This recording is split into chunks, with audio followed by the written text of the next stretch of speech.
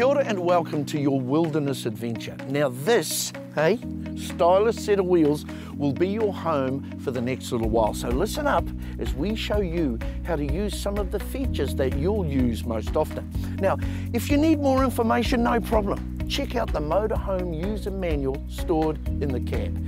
You can stop this video at any time and re-watch the sections you need to. That's cool, man.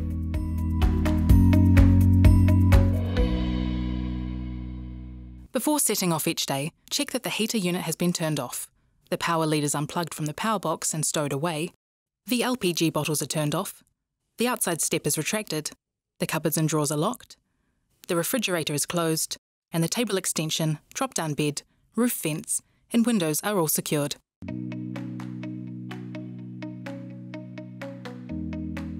Nah, it's nearly time to head off. But before you go, let's run through how your machine works. So, pay attention.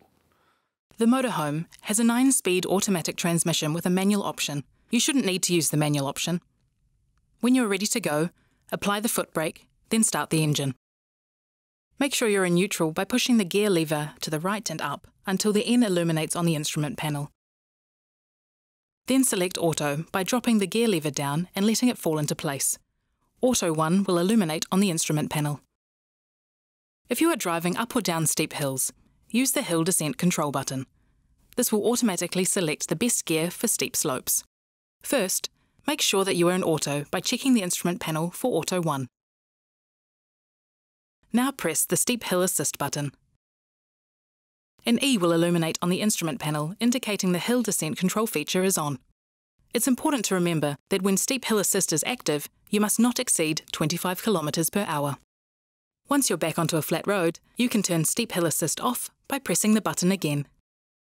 When reversing, use the reversing camera in the centre console to improve the visibility of any obstacles behind you. Turn on the stereo by pressing the radio master switch. Then apply the foot brake. Push the gear lever to the right and down to select reverse and view the reversing camera. As the field of view of the motorhome reversing camera is smaller than you may be used to in your own car, it's a good idea to use an extra set of eyes when parking in tighter spots. Ask a passenger to stand outside the motorhome to guide you. If the dashboard warning lights illuminate after you've started the engine, or you have any concerns about the performance of your motorhome, stop in a safe place and call Wilderness On Road Assistance. The fuel flap is beside the passenger door. To unlock the fuel cap, put the vehicle key in the lock and then turn the key anti-clockwise. Only refuel your motorhome with diesel. The diesel must go into the tank with the diesel label on the cap.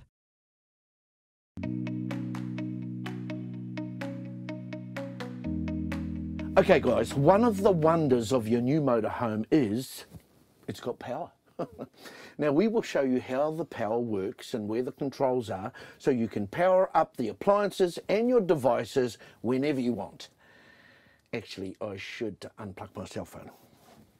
I'm on holiday. Nah. Power is supplied to the living area by a 12 volt house battery and 240 volt mains power. The house battery is separate from the engine battery, so you can still start the motorhome even if the house battery is running low. Press the top left button to check your house battery level, and the bottom left button to check your engine battery level. You can connect to 240 volt mains power at a campsite using the power lead in the motorhome. Mains power is required to operate the 240 volt electrical sockets and to charge the house battery. Driving will also recharge the house battery. The power socket is inside the service locker. You can find the power cord and the bag inside the storage locker. Open the flap to the power socket and connect the power cable. Plug the other end into the power box. You may need to turn on a switch on the power box. Finally, check the mains power indicator light on the control panel is on. Remember, only start the motorhome engine after you've unplugged from mains power. The 12 volt house battery powers the interior lights, water pump, fridge, media screen, and DVD players, as well as the Wi Fi unit. To turn on the 12 volt power system, press the power button on the control panel. If you are not plugged into 240 volt mains power, the motorhome will auto select the 12 volt house battery as the power source. Check the indicator light is illuminated. The inverter converts power from the 12 volt house battery to 240 volt mains power, allowing you to use or charge appliances or devices that require 240 volt when you are not plugged into mains power. The maximum wattage of the inverter is 600 watts. If your toaster, hairdryer or straightener requires more than 600 watts, it won't work unless you're plugged into mains power and use regular power sockets.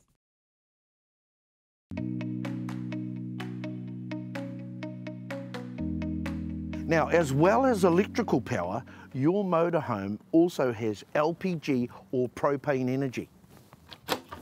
Hey, hey, hey. Now, you're probably going to use this more when you're freedom camping, so listen out for some important safety tips in this section. Very nice. The LPG bottles are stored in the LPG locker. The larger LPG bottle operates the stove and gas oven, as well as central heating, refrigerator, and water heater when these are in gas mode. The smaller bottle is the reserve bottle. Be sure to park the motorhome on flat ground when using LPG. To turn on the LPG, slowly turn the tap anti-clockwise. If you turn it too fast, the LPG may not flow. Make sure the living area is well ventilated before turning on the gas stove. If the main LPG bottle runs out, change the regulator hose over to the reserve bottle. First, turn the tap clockwise to close off the gas, but don't over tighten. Disconnect the regulator hose by turning the connector anti-clockwise. Connect the regulator hose to the reserve bottle by turning the regulator connector clockwise. Once the regulator is connected, turn the tap anti-clockwise slowly to start the flow of LPG. You can swap your empty LPG bottles for a full one at most service stations.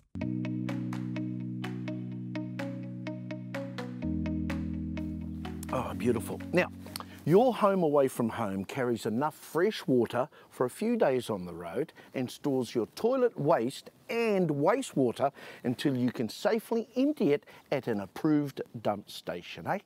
Now we will walk you through how to use the toilet. Refill the fresh water and empty the wastewater and toilet. You know, it's just, it's easy, sweet as.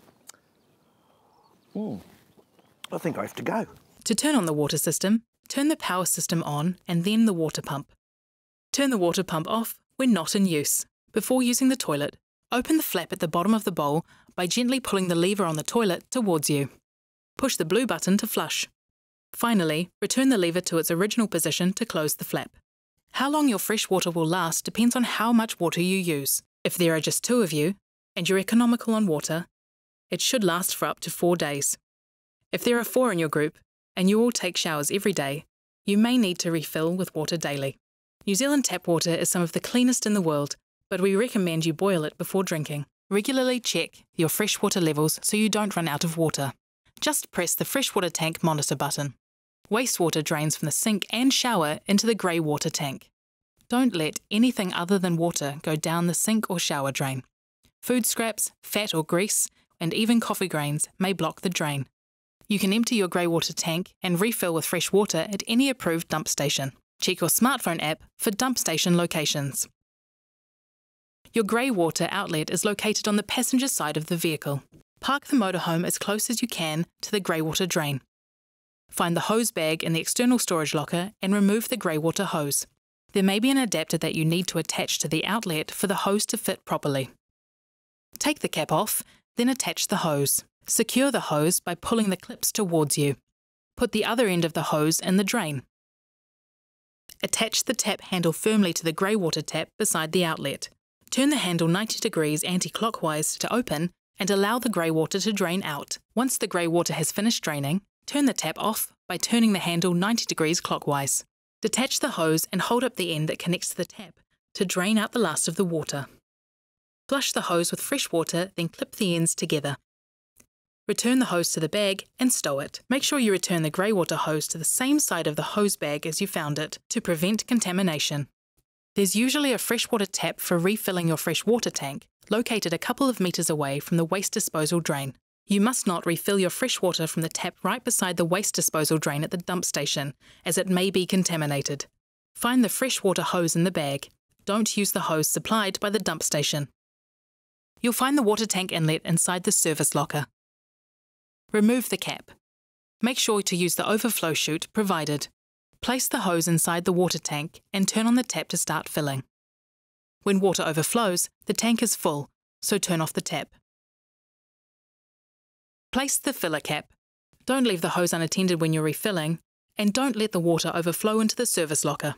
Remove the hose and connector from the tap and put it back in the hose bag before stowing it. If the air temperature drops below 5 degrees Celsius, ensure the heater remains on. This will prevent the frost control mechanism from automatically emptying the freshwater tank. If the frost control mechanism is activated, refer to the motorhome user manual. The toilet empties into the toilet cassette under the toilet bowl. Use the lever on the side of the toilet to empty the contents into the cassette. You can empty the toilet cassette at any approved dump station. Before emptying the cassette, lift the lid on the toilet and check the flap sealing the outlet is closed. Open the toilet locker door to remove the toilet cassette. Lift the release lever and pull the cassette out. Swivel the spout outward and remove the end cap. Pour the contents into the drain while pressing the breather button. Turn the knob, then slide back the lid. Rinse and drain the cassette using the hose supplied at the dump station. Add sufficient fresh water to cover the bottom. Use the end cap to measure 50 ml of toilet chemical, then pour it into the cassette. Replace the end cap and swivel the spout to its original position. Then slide the lid back. Turn the knob to close the flap. Gently slide the cassette into the toilet locker, don't force it. The release lever will click when the cassette is secured. Since most dump stations have a recycling station, take the opportunity to recycle while you're there.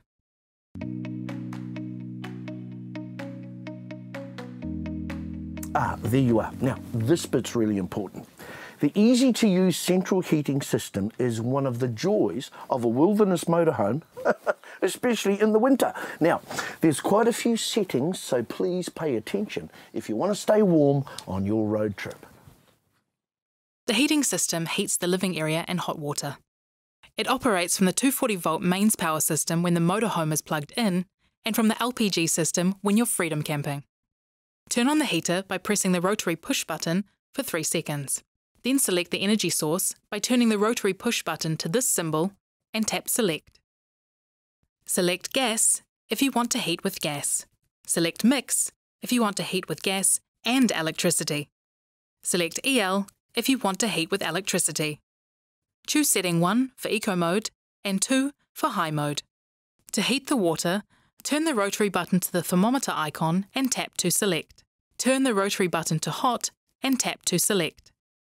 To heat the living area, turn the rotary button to the motorhome icon and tap to select. Turn the rotary button to your desired temperature and tap to select again. In order for your living area heater to work, you need to ensure that the fan is on.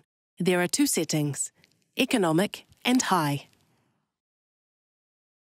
Turn the water heater on at least 40 minutes before you need hot water, especially if you're heating the water from cold. It's a good idea to run the living area heater at 28 to 30 degrees Celsius for about 20 minutes before turning it down to a comfortable temperature. The heater should be turned off when not in use. Also, you must turn off your heater unit before unplugging from 240 volt mains power or before turning off your LPG bottle. Press and hold the rotary push button in until off appears.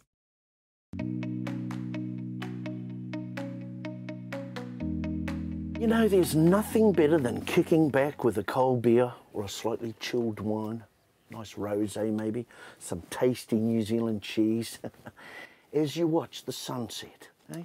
If that sounds like you, you'll need to know how the fridge works, otherwise your beer will be warm.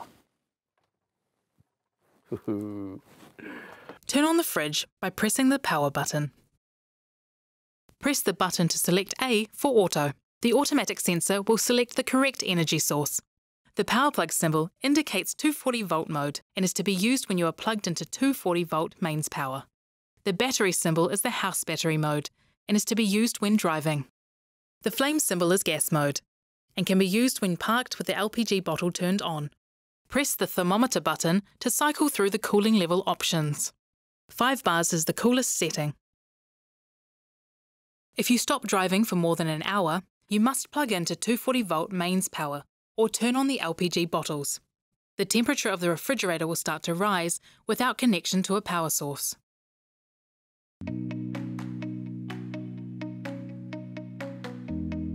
Before using the gas stove, ensure the LPG bottle is turned on and the motorhome is well ventilated.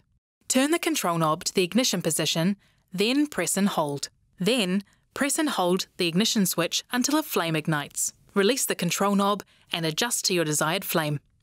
Be sure to leave the glass lid up while cooking. Open the oven door fully. Turn the control knob to the ignition position, then press and hold. Release the control knob and adjust to your desired flame. Be sure to close your oven door when in use, unless using the grill function. Well, here we are. You know, we hope this guide has answered all your questions you have about how to use your motorhome. Now, if you're still unsure about anything, please refer to your user manual in the glove box in the cab. And now, you're all set. Enjoy your dream vacation and leave ordinary behind. I got this. I got this.